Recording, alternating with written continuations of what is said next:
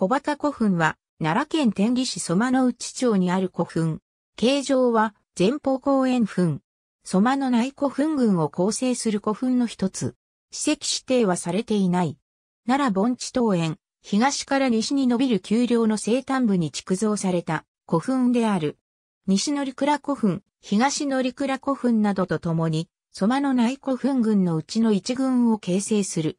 これまでに公園部北川が作兵を受けているほか、1987年1989年に、墳丘東側の発掘調査が実施されている。墳形は前方後円形で、前方部を南西方向に向ける。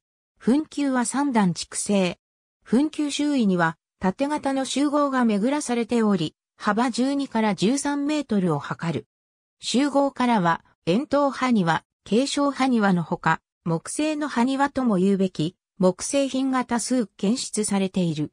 埴輪のうちでは円柱を伴う高床式建物が特筆される。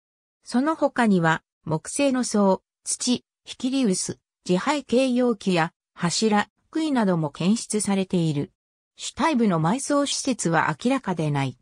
この小バカ古墳は古墳時代後期前半頃の6世紀前半頃の築造と推定される。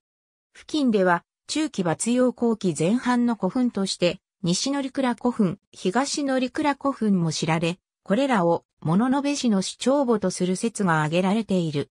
古墳の規模は次の通り。ありがとうございます。